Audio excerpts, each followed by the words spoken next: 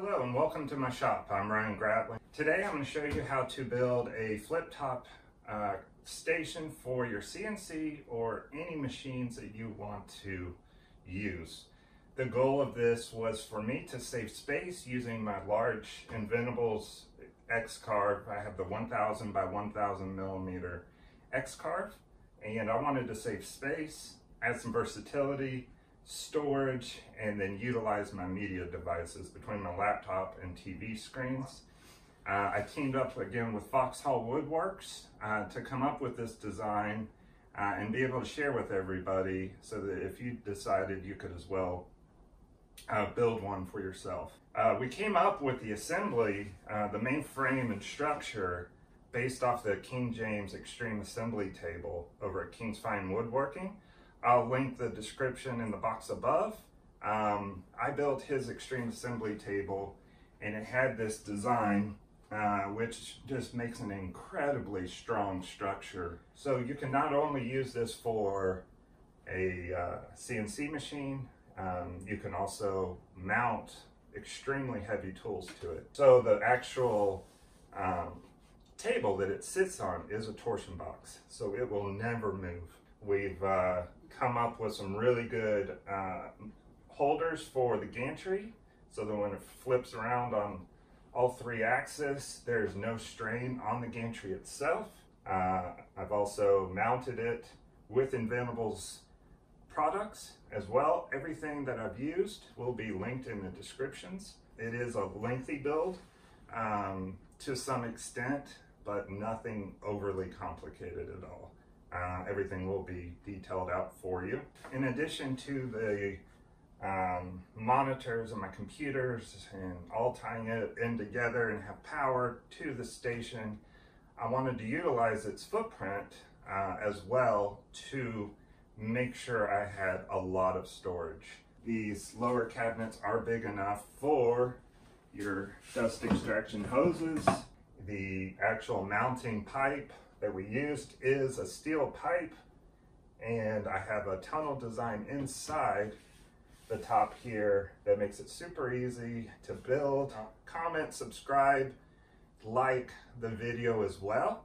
Let us know how we're doing. Um, we put a lot of effort into the plans um, in this video.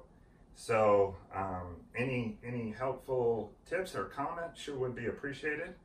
We will have this in other sizes as well. Let's get started and uh, enjoy.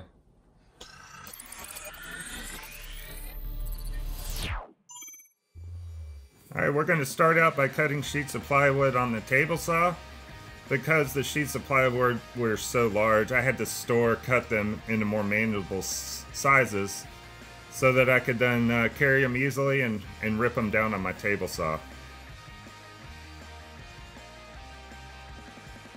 I then take them over to the chop saw, cut them down to their final lengths. I squared the left side first and then cut on the right.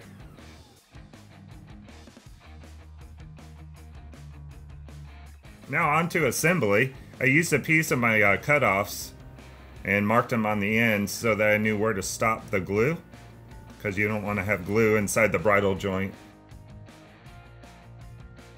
used a right angle here so that I could line my pieces up.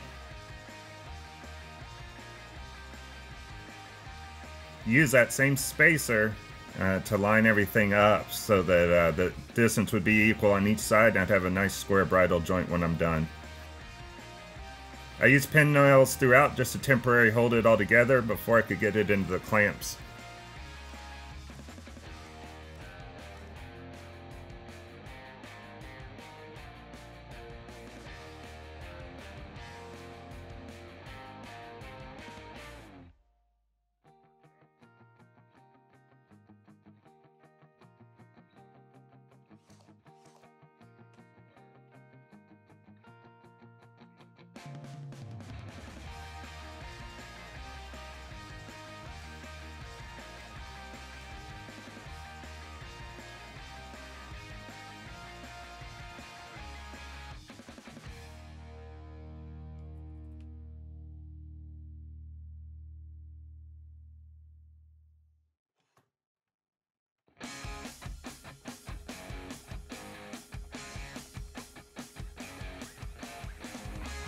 Alright, now I'm here uh, cutting the angle brackets um, that I will laminate together.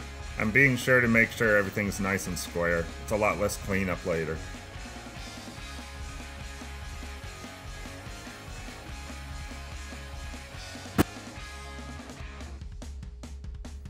Alright guys, I just got done laminating all the frame assembly all the way around for the bridle joints. Now I'm gonna uh, real quick laminate all the angle brackets and foot pads.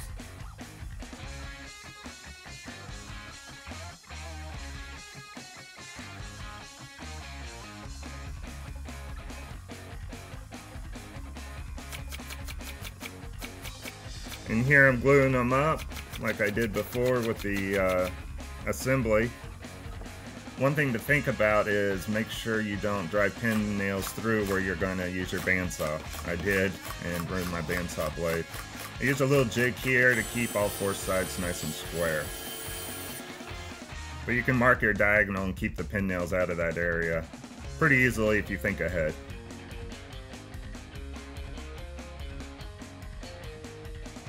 I just cut out the caster supports, cut 12 of them, 3 times four all the way around the table. So I'm gonna do it just like I did with the angle brackets. Just gonna stack, stack three up, pin nail it, and then I'll put them all in the clamp after I'm done.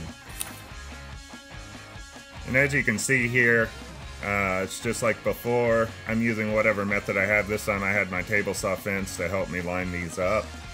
Just use my fingers on the sides, use the table saw for the front, and uh, that helps make it a nice square lamination, and again, pin nails temporarily until I get them into the clamps. Use plenty of glue, and always wipe it off.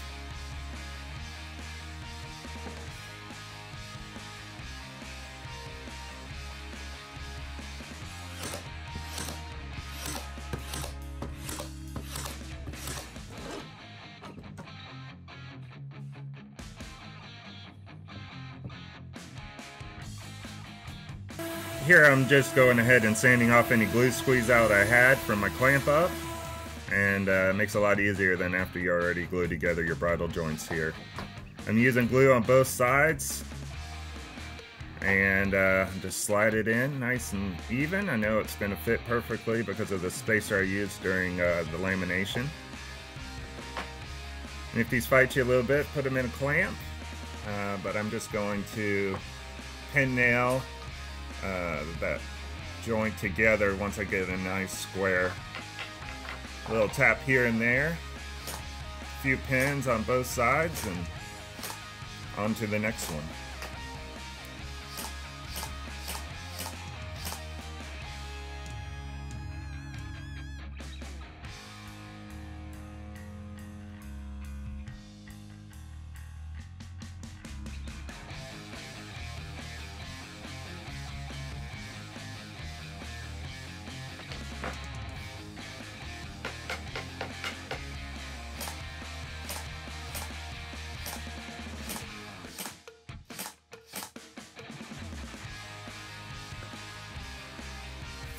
We're about to begin on assembling the angle bracket to the foot pad here.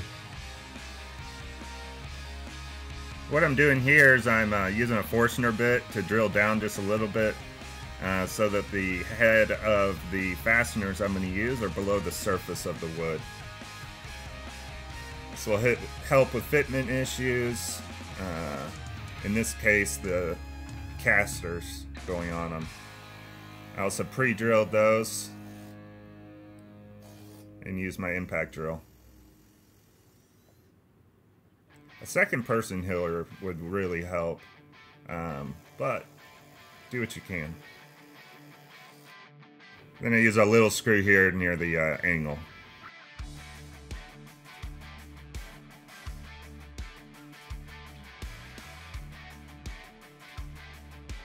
And here I mark the middle of the frame assembly and then uh, the two upper supports I uh, put a piece of 3 quarter inch plywood in between them as a spacer and that way you can drill in your uh, your pipe flange. Then here I'm just marking the center and this will allow me to drill my lag screws through and uh, have them evenly spaced throughout. Again, I'm countersinking with the Forstner bit here, then I'll pre-drill and drive in the lag screws.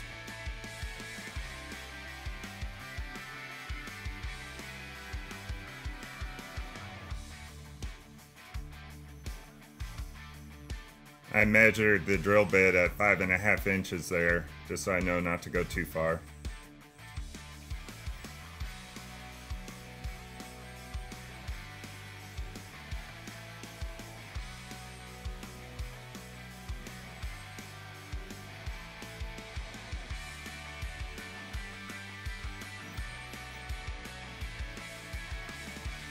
These long lag screws are surprisingly easy and uh, effortless to drill in. They really grab and just pull their way through. You don't need anything super heavy duty to get these things driven through. I would would recommend impact drill though.